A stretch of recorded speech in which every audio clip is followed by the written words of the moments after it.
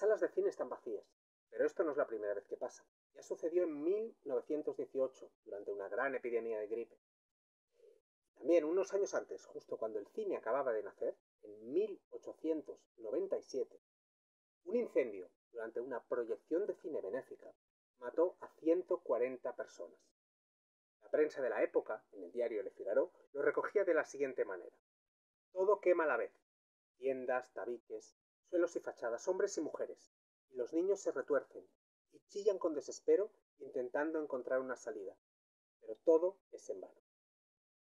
Así que la gente, después de este hecho, cogió miedo a ir al cine, en espacios cerrados.